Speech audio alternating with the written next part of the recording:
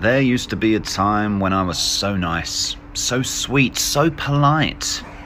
But now I'm like, you, fuck this, and fuck everybody.